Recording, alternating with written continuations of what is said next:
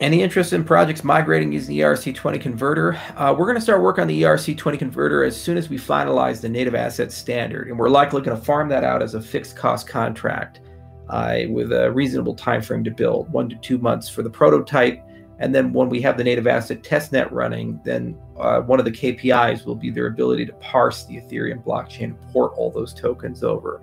So when we're a little further along, we'll do a demo for you guys, probably in one of the product updates. And actually, what would be really cool is that we'll also showcase the multi-asset wallet for Daedalus. And then if you happen to hold one of those ERC20 tokens that gets copied over, you can actually restore your wallet in Daedalus and play around with those tokens that previously were on Ethereum.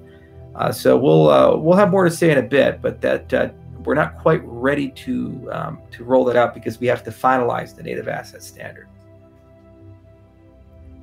and uh, Polina and um, Rob Cohen are part of the people working on that, along with uh, Jared. Some good people on that.